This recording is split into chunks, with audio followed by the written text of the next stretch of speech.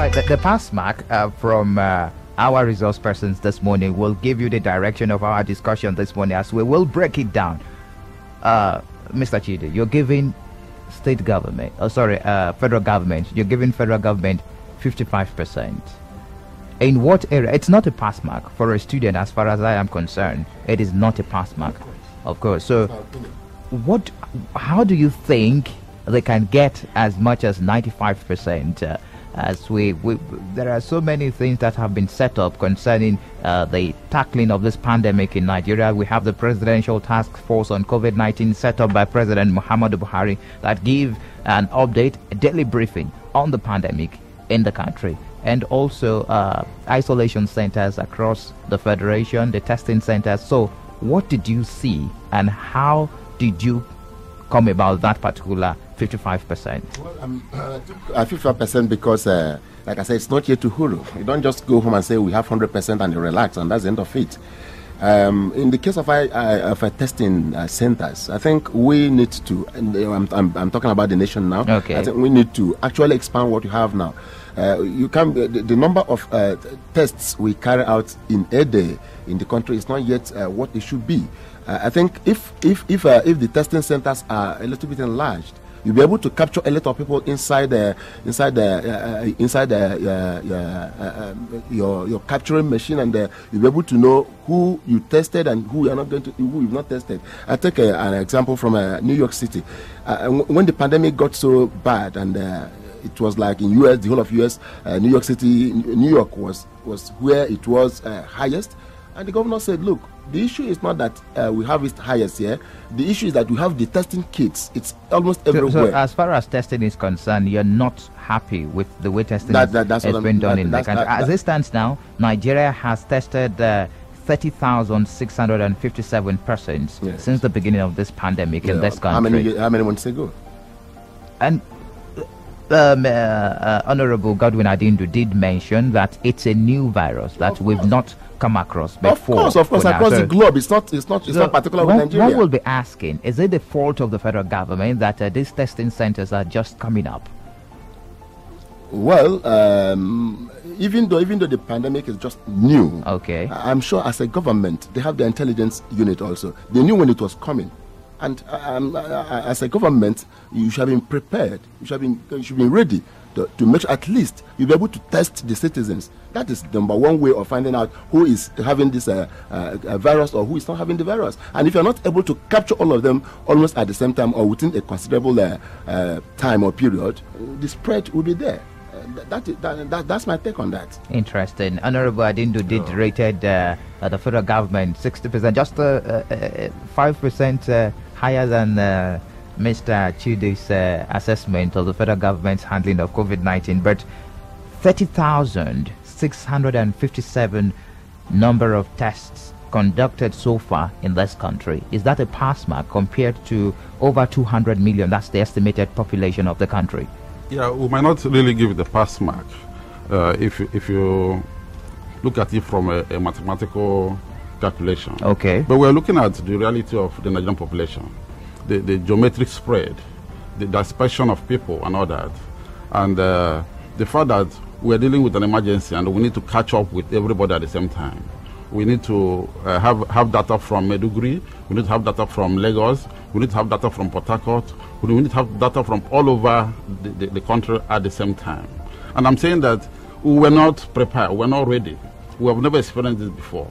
Okay, so, so when you see the response rate of the federal mm. government, if you see the response rate, if you see the way the federal government quickly established the, the, the task force and the, and the work of the NCDC, and and the, and the uh, continuous okay. exercise. Uh, you, you believe that the response rate, the response rate now is is okay as it stands now? I believe that it is okay, given the challenges of our of, of our of our country. We, we have we, we, have just thirty thousand over thirty thousand. Uh, yeah, but the, the, uh, the testing the, the, testing is still ongoing. It does not stop. It is still uh, ongoing. They, they, are, uh, right now, they have moved from from specific testing to community testing. Yes. Okay, and and all the states have keyed in into what the federal government is doing. So I, am sure that in the next few weeks we're going to get good results. And if you also look at the the the the the, the, the, the rating of our death cases, mm-hmm. you see that it has not really uh, uh, escalated as, as, as one would have expected in a country of over 200 million people. Interesting. Do, do you understand? Uh, so, so, okay. so when you look at the, our population, look at the, the, the rate of testing, look at the rate of cases and, rate, and the rate of death. You see that there has been a recommendable conscious effort by the federal government. Is it, is it the testing? Is it the testing uh, that they're doing that has uh, brought down the number of deaths? the, the testing and the and the and the activities of the healthcare workers, everything is put, put together has helped to bring it down. There- if, if those things were not in place, of course, our our our death case would have would have skyrocketed. We are not having high rate of death cases right now because of all these quick measures that are put together and, and the level of campaign and consciousness that is being aroused within the politics. Okay, uh, we will take a look at some of the precautionary measures uh, being put in place by the federal government to curtail the spread of this virus. I think we should begin with the, the lockdown. We started with the lockdown, the federal government uh, lockdown of uh, Lagos, Ogun, and the FCT. Later, it was uh, streamlined to Kano and a curfew uh, uh, across the federation from 8 p.m. down to 6 a.m. And uh, we we have, as it stands now, we have uh, the interstate movement. There is a ban on interstate movement, but it seems it has not been effective. And one will be asking, does it mean that the federal government is not capable of ensuring a total lockdown of those uh, interstate borders? Well, well, well, well. Uh, yes, you talk about the federal government, and uh, I'm sure the presidency is not going to be everywhere. Uh, yes, there is uh, there is an executive He- order. he's the grand commander. Uh, yes, of, of course, of course. And uh, like I said, he cannot enforce anything from Abuja all alone, single-handedly. That is why the state governors are there, and that's why the local government uh, council chairman are there. Also. Whose fault now? Well, if, we have this movement. If it's uh, interstate, it has to do with the states. When you talk about international boundaries, okay, let's talk about the federal government and hold them responsible. But when you talk about the interstates, that, this is where the local government and the, the, the third tier and second tier comes in. That's where they have to play a role. You know, it's unfortunate. Uh, uh, at the beginning of the lockdown, somebody was traveling between uh, um, Bayelsa and Aba, and that person had to go all through to Delta State, Anambra State, Imo State, then back to other State. You understand And that? What I'm trying to say, that what I'm trying to say that it's not about how many hours it took that person to travel, but incidentally at the end of the day, that person made that interstate movement up to Aba from Bayelsa. And that is to say, even as I speak to you now, people are still coming from Abuja and Lagos, and don't ask me how they get in here. It has to do with the interstate. What are they doing at the boundaries, at the, uh, the state boundaries? Who are there? What are they really doing? Are they actually there to enforce uh, that which have been, I mean, let down, or are they there to fill in Uh, their uh, that might have affected your, uh, maybe maybe influenced your mark, uh, past uh, your mark of fifty Sure, percent to sure, for the uh, state. the state for the state. yes. Uh, uh, comrade uh, Ajin, Yeah, uh, let, let me even talk about the we, lockdown. we, we have the case of community transmission, Yes, let- let which, me- let me talk which about the is very important Yes. that the lockdown Yes. is uh, being effective right now. Yeah, So- let let me talk about the lockdown. There is the, there- there's a gap somewhere which uh, the federal government did not take into consideration. okay. Federal government allowed the, the task force to lead the crusade.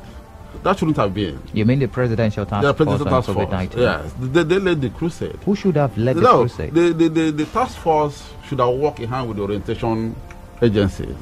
You know, the, the, the orientation agencies were not really mobilized in such a way that they, they, they ought to have led even even the, the, the engagement. Is it in, is it in when you are- sensitization or in in sensitization, in community communication, because you are, you are trying to change your lifestyle. People are used to gathering in a certain bar in a village for 50 years. They've been gathering there. All of a sudden, you invade that bar with a task force and start arresting them. Of course, you're going to meet with resistance. But when you use the orientation process and get people there, orientation agents, they go in there, wine with them, and talk to them, uh, uh, teach them, explain to them about the need to close that bar, to lock down that bar. Then you achieve results. So it's a case of communication. It's a case of communication. It's not just communication, but what we call community communication, community engagement. That, that, that is what should have led this crusade. And I see it uh, lacking in the federal government approach. You know, you can't, and, and even in the states where we're having uh, resistance in some areas and uh, buildings have been demolished, it's because there was no proper personal engagement. You know, the, the, the, the, strategy should be what the clergy uses in, in, in, in converting uh, people into their, into their faith.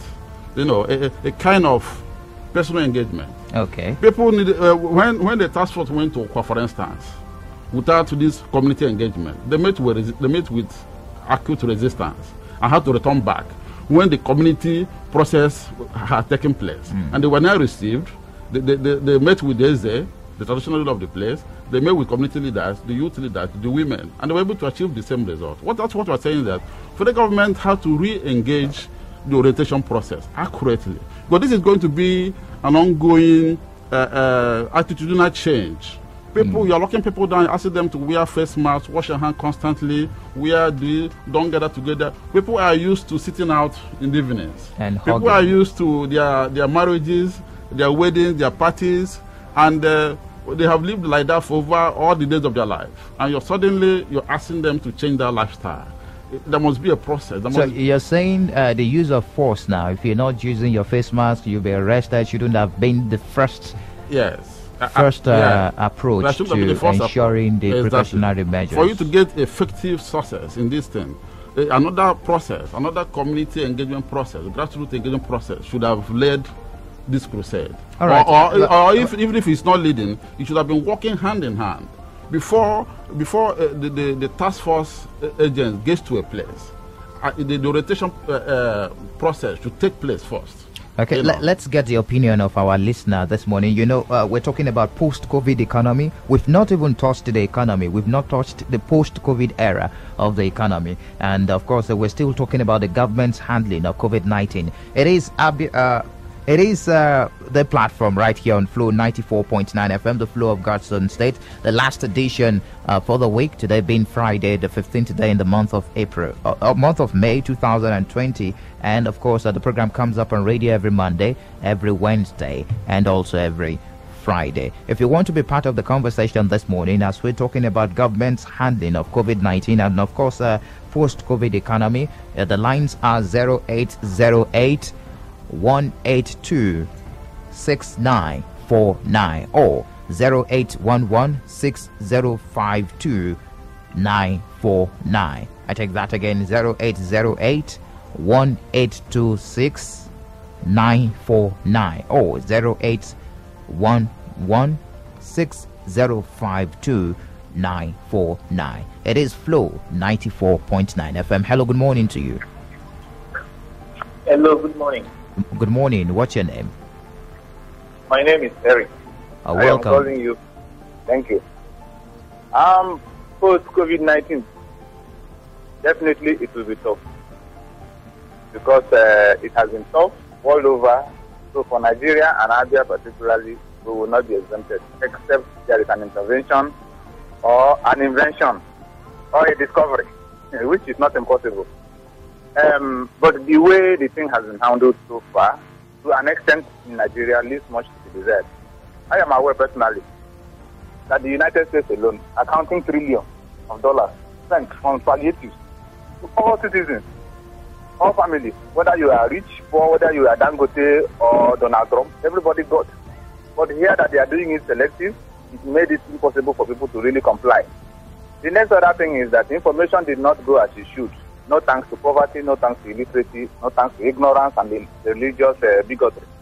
But I think that now that we are taking proactive measures, at least I can give kudos to uh, Abia State government for the people that have assembled to take care of the economy now and then post COVID-19. I, I have names of, uh, you know, prominent tried tested hands in economics, management, uh, and uh, accountancy. So I think that that is one of the proactive measures that the state has put in place to uh, ensure right. that after now, Eric. the suffering will not be beyond what is manageable by humans. Thank you and have a nice day. Thank you for your contribution. Hello, good morning to you. Hello, good morning, sir. Yeah, good morning to you. Welcome to the conversation. Good morning, I get to the house. This is Destiny calling from Mr. Longonos. Uh, welcome. Thank you, sir. Please, post COVID 19 um, economy. I am suggesting, I'm humbly suggesting our country, our state, the of bank is coming to. They encourage us, just like the man in the house says, you know, orientation should be given to our people. Social distancing can be done in the farm. Let's go and help ourselves. When the post COVID 19 economy breakdown will come, and then lay hand on our agriculture, agriculture department. That is my own. So okay. Uh, thank you very much for your take. We do appreciate for being part of the platform this morning. Good morning to you. 0808 1826 949 or 0811 6052 949. Good morning. Good morning, Michael. Welcome. Good morning, honorable gentlemen in the studio. Good morning, all. Good morning. You're welcome. I remember Mr. Prince Sulosuago calling here from Monachi, Noble local government area. My brothers, I'm not happy on the rating you have given to the federal government as regards this COVID-19. That 50% you are giving them, to me, I, I, I disagree. If I'm to assess the federal government and the, and the way they are fighting COVID-19, I will give them 25%. What am I saying is, the approach they are using is 100% wrong.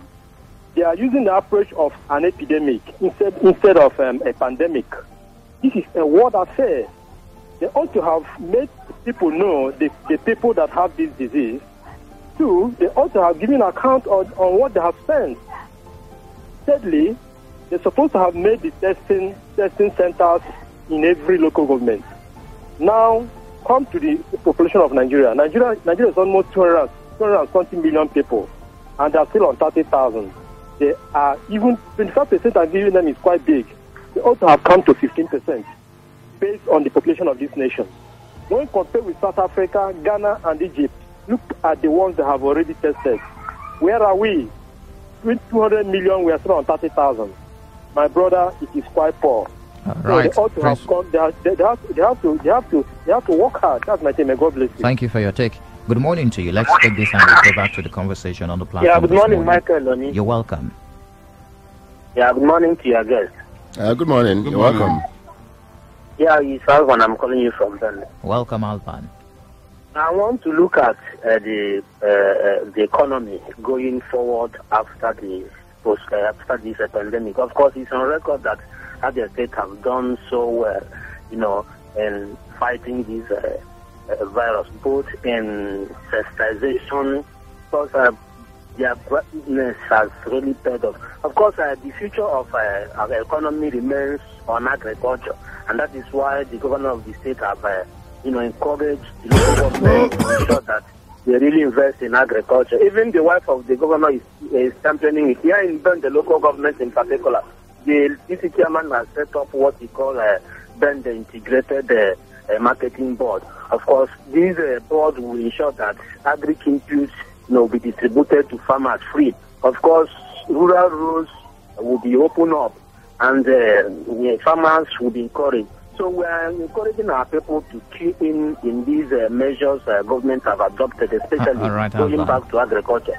And again, it's necessary that we, the citizens, take responsibility, not to be sitting down as not only palliative. When we talk about palliative, we talk about how how we will survive Okay. after this uh, era. Uh, th- Have a nice th- thank you very much. Uh, it is still the platform. We'll take a breather now. When we return, we talk about the palliatives, both at the federal level and also at the state level. Then we do the final ana- analysis, which is the post-COVID era, post-COVID economy. Uh, talking about Nigeria, the three tiers of the government, what should be done and what we should expect. It is the last edition of the platform uh, for this week, right here on Flo 94.9 FM. At Flo 94.9 FM, we've got conducive and well secured environment for business. High tech video studio, a state of the art production studio. You can also listen live on www.flow949fm.com and watch our videos on YouTube at Flo FM TV. Flo 94.9 FM, not just radio, but a complete broadcasting house.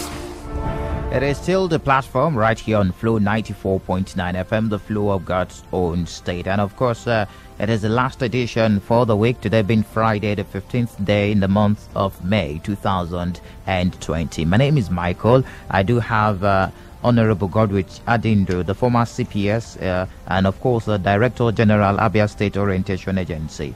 Uh, he's very much in the studio, and also uh, Mr. Chidi Asonye. He's a journalist as well as we are discussing post-COVID economy and government's handling of COVID-19 now. Let's talk about the palliatives and a, a whole lot has been said about the palliatives. Government came out with palliatives for the vulnerable and also for the indigent uh, immediately that lockdown started. Many persons are still complaining we are yet to see the federal government's palliative. Abia state government started palliative distribution of food items and of course uh, uh, cash to through the churches in, in in batches. They started with the first batch, second batch, took it down to the level of local government and also to uh, the student unions. Now let's rate uh, our government and what should have been done in places where they got it wrong. What will be your advice uh, to this government? Uh, talking about both federal government and uh, state government. I will begin with you, uh, Mr. Chidi Asonye. Um, the truth is that uh, the palliatives, yeah, came. You know, what whatever position we are taking here, we borrowed from the international community from the West. You know, maybe because uh, just like my friend here said, we weren't ready when it came in, and uh, we were like running helter skelter to actually manage what came to us suddenly. Uh, so the palliative actually didn't uh, get down the way it should be, and then I, I still at this point wonder who actually are the target. You know, the vulnerable and. Uh, and all that and all that we mentioned. In some developed countries, palliatives were given in a way, a, a, uh, in a way of giving money. Yes. It's a way of giving yes, money. Yes, yes. Uh, and, and it, it went around, yes. not for selected persons, as pointed out by uh, one of the callers on the program this morning. It went around, uh, you receive an alert, but you come to discover that in Nigeria we do not have uh, a, a, a, system. We do not have a system where a, when you dish out something like that, it trickles down and it affects all households in the country. That, that's the problem. You think uh, we cannot do it? Uh, if they actually wanted to think, uh, th- th- there is no database. That's the word I'm looking well, for. Well, no database, database, but there are other ways of actually of uh, trying to reach out to the people. That's the truth. For instance, l- let me let me go to uh, the the, uh, the, the NEPA. For instance, you know they have the bill of every house. If you go through them, you can reach every house. What about those with two houses? Uh, some persons have built uh, more than three houses. Well, other, while, other, while, some persons do not even have a house. Yes, and others talk, thought about also using uh, the BVN cards. I mean, yeah, the, the BVN numbers to reach out to people. But the truth is that no attempt was actually made to reach out to everybody in Nigeria. That's my, that's my thinking. Because it didn't get to everybody. Still, at, even at the state level, people, a lot of people are still complaining. It was said that a 5,000 naira was given out to uh, some persons through the federal government. I, I, don't know if you heard about that. And also, there is a loan being given out by the CBN, which you can access uh, through the NIRSAL Microfinance Bank. You can get get as much. I saw that online, but I have not 30, 30 million naira. Yes, I saw that online, but I've not I've not seen any one, uh, one beneficiary. You are, we are talking still talking about the five thousand naira uh, I learned also up there in the north, a lot of things happened. They decided, look, they, down this way, we're better off than them up there, and therefore we wouldn't get anything here as if we don't belong to the, to, to the same uh, country. So that is issue. Okay, that, that's your assessment of the federal government. What about the state government? Yes, at the state government, yes, uh, just like you pointed out, the churches were used, but then uh, I'm sure we didn't capture all the churches. We used the major churches maybe it's not easy to actually take data. Then you go back to that again to get a data of a, a database of a, the churches we have here or the organization we have here because most churches didn't get, and some of them that got it were like, this is this is actually it, it didn't go anywhere. I know of a church in Aba that got it and they were like, by the time it goes down, they won't even get a cup of rice each it may not, it may not be easy. The, gov- the, gov- because the government came out and said it's a way of helping. They sure. can't feed everyone. Sure, sure, I, sure. I'm not speaking for the government, of but course, course. I'm only trying to balance things here. The government came out and said that, uh, well, we can't uh, accommodate everyone. Sure. And called on the well-to-do in the society to also come up with. They also they also came in to help. The private people came in to help. Pop, uh, corporate bodies came in to help. But what we are saying is, what is what doing is what doing well. If you want to say you're giving out something and you're able to pronounce it yeah, and blow a trumpet about it, please, you have to make it go as far as you can. It doesn't mean it will get to everybody. We know it's not possible. But then those people who are, I mean, the, who are really actually, who are the targets actually? Did they get to all of them that are the targets? Or do we go midway and then it stopped?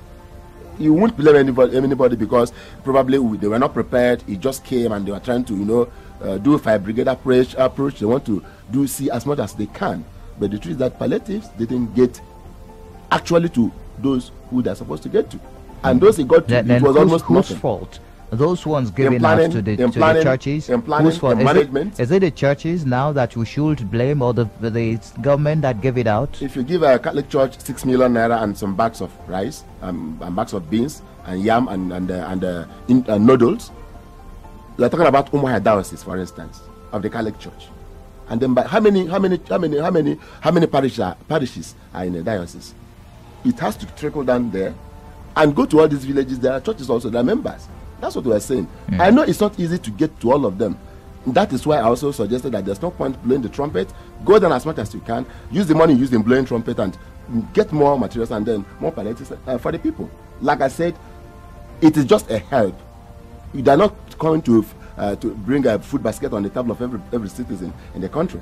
That is the truth. But then, like I said, what is what doing is what doing well. If it's a palliative, let it be palliative that the people will look on. I mean, fall, fall back on and say, yes, at least the government was able to do this at this point. I'm not trying to say they're not doing anything.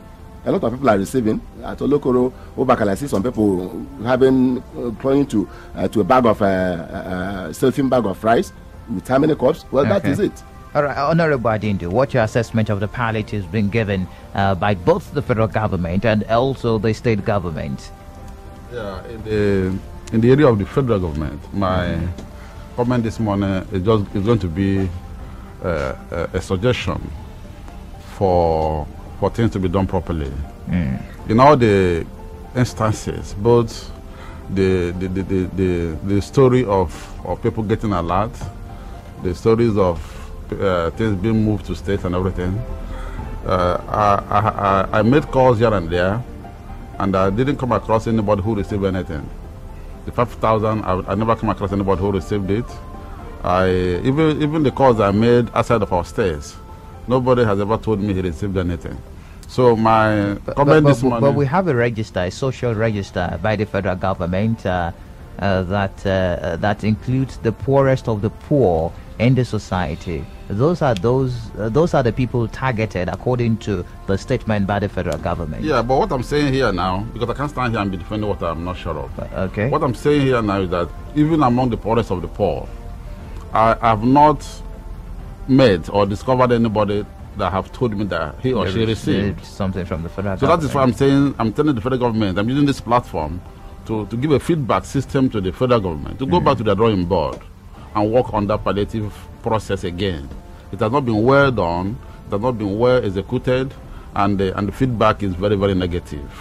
You know, even in, in highly poor areas, in, in, in highly populated areas where you have uh, the, the, the poorest of the poor, I, I, I don't think anything. In fact, there was even a, a funny report where food was shared somewhere and people, you know, scamper for this food and destroy it. There were uh, uh, stories where people were shared bread. Bread, you know, people went to, you know, they kicked it. and people Kicked it kicked it away. and threw it away. So, so it has not been properly done.